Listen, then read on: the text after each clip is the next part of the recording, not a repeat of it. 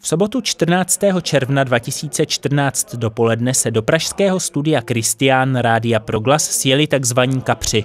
Kamarádi Proglasu, kteří dobrovolně pomáhají v rozesílání zpravodaje a časopisu Vlnění. Pozdravil je ředitel otec Martin Holík s brněnským týmem hlavní redakce. Odpoledne se pak konal Den otevřených dveří a požehnání nových prostor studia Štěpán Rádia Proglas v Litoměřicích. To kaproství bylo zajímavé od začátku, protože po technické stránce třeba jsem připojoval antény, dráty jsem tahal těm lidem po doma, aby vůbec byli schopni to chytit.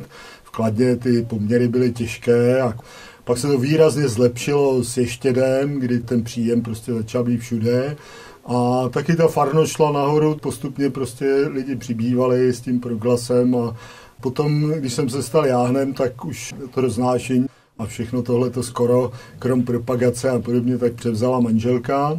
A ta část rozdělovská, ta se taky oddělila, takže to dnes spravuje manželka trvalého jáhne klance Marie Klancová.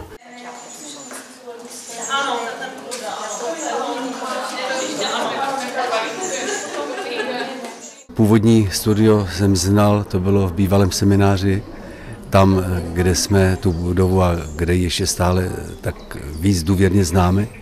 A já jsem mile překvapen, jak to tady je útulně zařízeno.